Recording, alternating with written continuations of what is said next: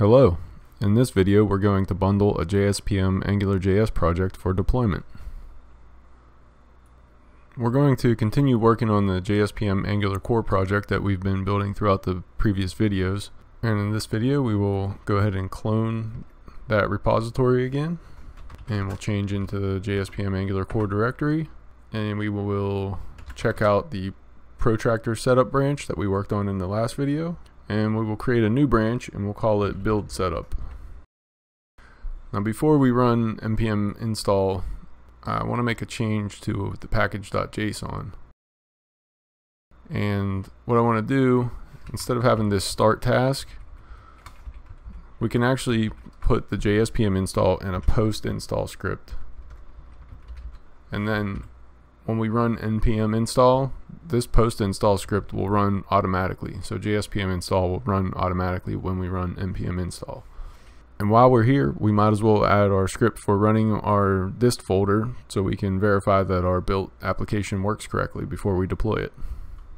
So we'll create a task named serve build and that task is going to set a node env environment variable to build and then it's going to run our server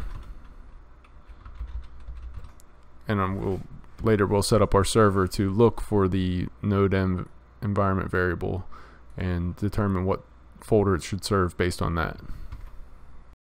Now if we run npm install it'll install our npm dependencies and our JSPM dependencies. Okay, now that our dependencies are all installed, I want to demonstrate a bug that happens with ESLint. So if we run gulp ESLint, we get this cannot find module ES traverse FB error. And what happened is newer versions of ESLint stopped depending on that, but the gulp ESLint plugin that we're using still relies on that. So what we have to do is install an older version of ESLint. So if we do npm i-d, and the i-d just stands for install save dev. Then we will do ESLint at version 2.2.0. So now if we run gulp ESLint, it will work. And we have one error that we found. So that's in our main unit test. So if we open our modules main, go to main unit test and control is not used anywhere. So we can simply remove it because the only thing these unit tests are checking right now is the scope. So if we ever decided to use the control, we can add that variable back in. But for now, we'll just remove that and then we'll verify that our tests still work. So we will do npm run unit tests. And they still work, so that didn't affect anything. And we should have solved our ESLint issue.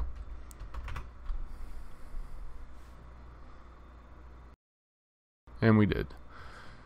So now everything is working well and I just wanted to get that out of the way to get things cleaned up for for our build process because you don't want any errors in your build process right?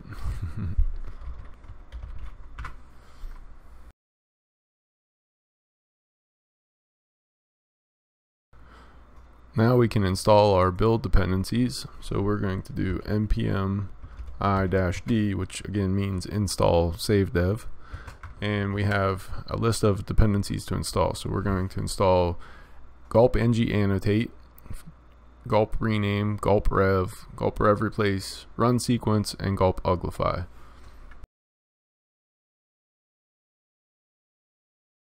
And then we need to install a JSPM dependency. So we'll do JSPM install, and we're going to install npm colon clean CSS. And that's because we have our CSS imported into our JavaScript and when we bundle the uh, JSPM bundler needs to know how to minify and handle the CSS that it's importing and we can make this a dev dependency in JSPM by adding dash dash dev.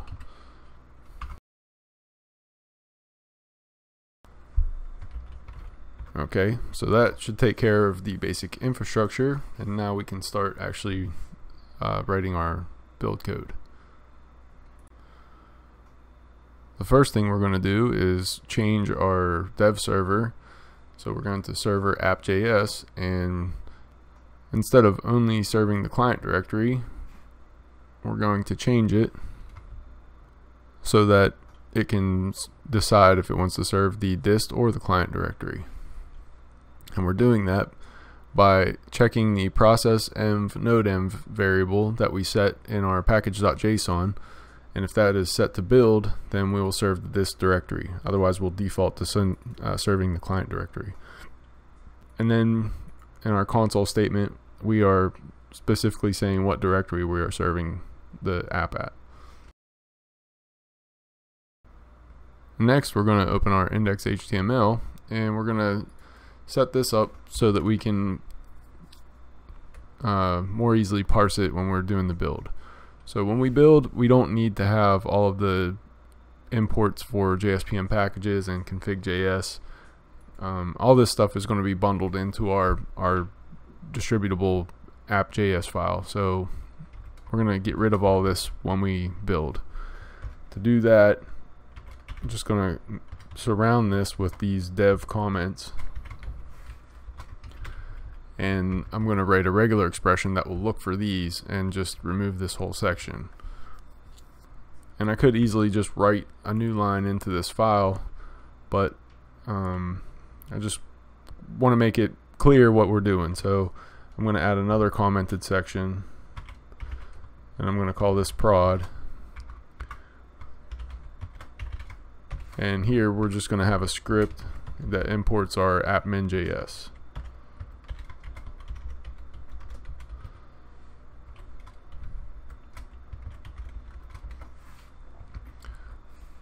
So there's more elegant ways to do to do this, but I'm just trying to be clear so that when you look at this file, you know that this is specifically for development, and when we deploy to production, this is the actual script that we want to have included in our HTML. Next, we're going to take care of some other issues that are that might come up with our build process. So we're going to take those on first and specifically with the um, ng annotate, what it's going to do is come through our code and make sure that our Angular dependency injection is set up correctly. And to tell it where to look, we're going to add these ng inject tags. So anywhere that we have a dependency, uh, we want to make sure we have an ng inject tag there under it so that the ng annotate will know where to look. Make sure that it gets that dependency injected correctly. So we have a function here that calls URL router provider. This function calls in scope. In home controller, we have a constructor that could call a dependency. So we're just going to add one there just in case you put something in there that, you know, you have a dependency that comes in later on. And in our home config, that's a function. So we're going to add ng inject in that. Now we don't have any functions in our main controller that we need to add the ng inject to, but something we do need to do is take the leading slash off of the imports for our local project modules. And the reason for that is because of the bundler will actually interpret that as being the system root. So it'll look in your root directory instead of in your client directory when it's trying to resolve these dependencies.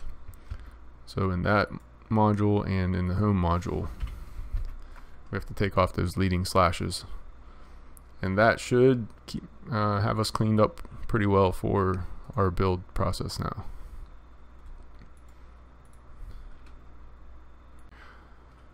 Next we're going to create our build.js file. So we'll create a new file in gulp tasks and name it build.js. And this is where our build scripts are going to live. And this is what our build.js file is going, going to look like. So we're going to require our gulp and uh, the exec function is just something that simulates the command line. So you can run command line commands through exec. If you look down in the build clean task, you'll see there's rm rf dist, and that's the same command you would type on the command line to remove that directory. So the exec command gives us access to the command line basically. FS is for reading and writing to files. ng annotate is for like like I said before, um, setting up our Angular dependency injection correctly. Rename allows us to rename files. Rev and rev replace will actually add hashes to our file names, so uh, we can do cache busting with those. And run sequence will allow us to run tasks in order. So if tasks need to be run sequentially instead of all in parallel, then you want to use run sequence for that.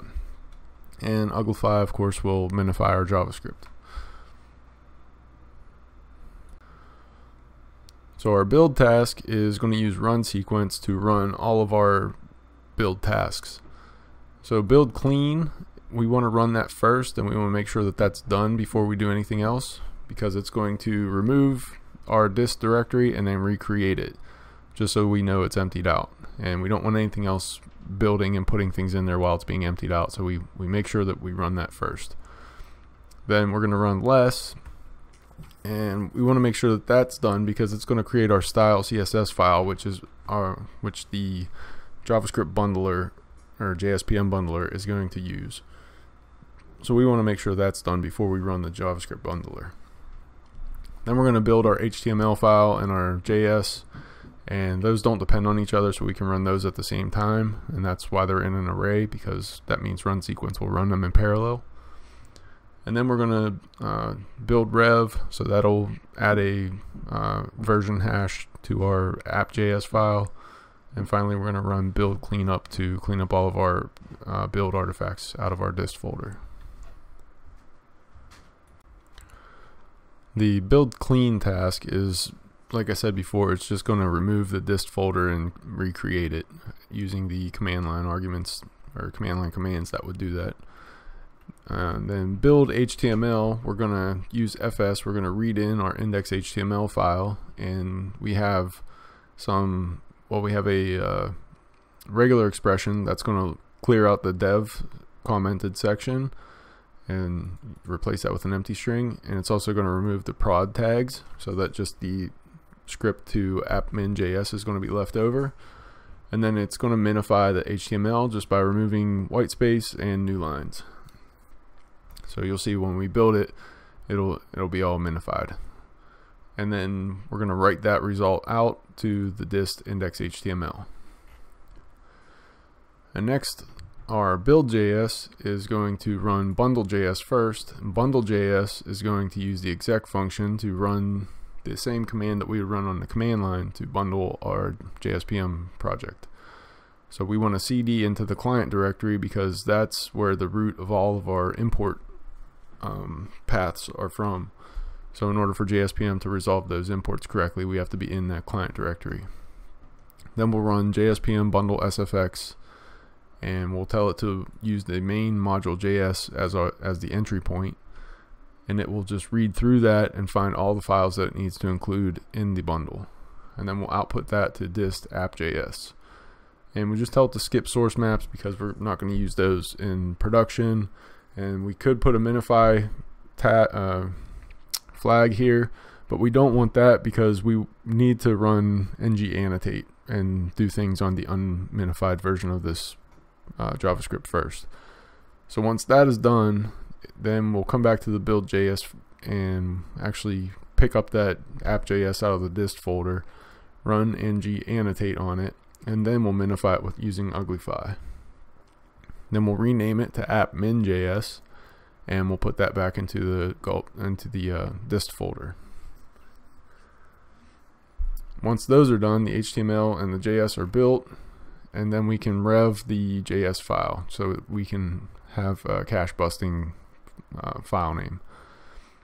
So rev is going to call rev files. Rev files is simply going to get the app.min.js, add the rev hash to the file name, and then it'll create a manifest that maps the file the original file to the new file name so that when we come back here to build rev, we'll get that manifest and use it and go into index.html and replace the original file name with the new uh, file name. And then we'll just put that back into index.html in the dist folder. And then once that's all done, we're going to run build cleanup. And that's simply going to remove the app.js, app.min.js, and the rev manifest JSON from our uh, dist folder so that when we deploy, we don't have those in our deployment. And that's it. That's our build script. So now we can test it out and make sure that everything works the way we expect. So we will just go down to our command line. We'll run uh, gulp build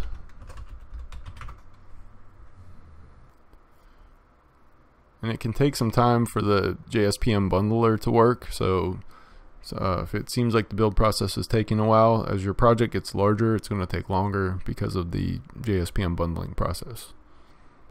Now that that's done, we can run our build, our yeah, our build server. So we'll run uh, npm run serve build, and that's going to set that special node env variable to build.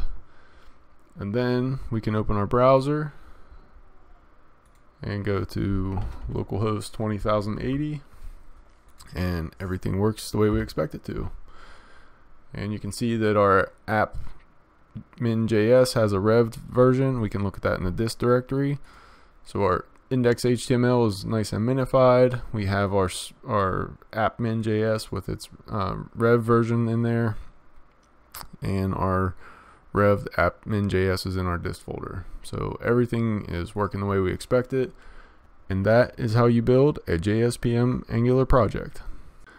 Feel free to comment if you have any questions or suggestions. If you found this video helpful, please give it a like. And if you'd like to see more of my videos, please subscribe to my channel. And as always, thank you for watching.